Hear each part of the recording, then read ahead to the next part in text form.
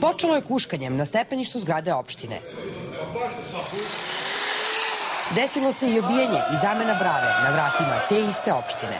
Jedna sednica održana je pod vedrim nebom, da bi sve kulminiralo masovnom tučom. Završilo se Balaševićevom pesmom. Pomenuti kant autor bio je prva tačka dnevnog reda, tačnije, vraćeno mu je zvanje počasnog građanina Bača, simbolično.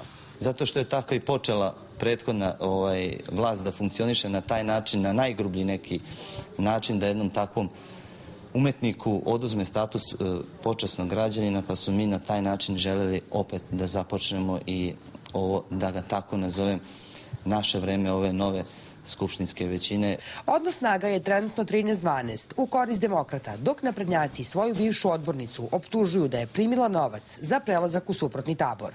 Ona najavljuje krivične prijave apsolutno ne stoji niti da sam dobila stan u Novom Sadu, niti jedan jedini dinar. E, tvrdim e, sve što sam uradila svojom dobrom voljom i sagledavanjem nerada onoga što sam očekivala u Srpskoj naprednoj stranci. Bivša vlast, sada opozicija, nije prisustovala sednici, iako su juče, kako sami kažu, poslušali vrh stranke.